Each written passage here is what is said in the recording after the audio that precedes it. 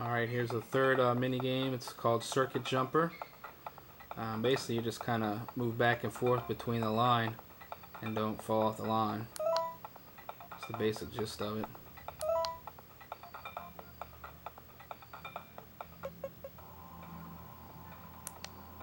So you can move up and down. Oh. And then there's points and stuff and different special things you can get.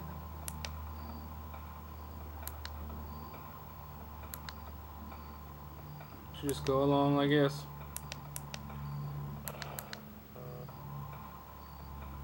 And, you know, you earn points for, I guess, for how long you go. And for any special things you might get. Like I just missed that one.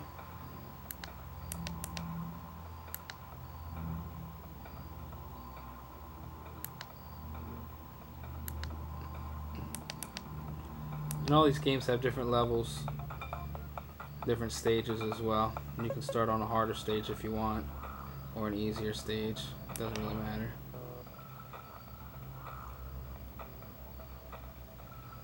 So we'll just do this real quick more.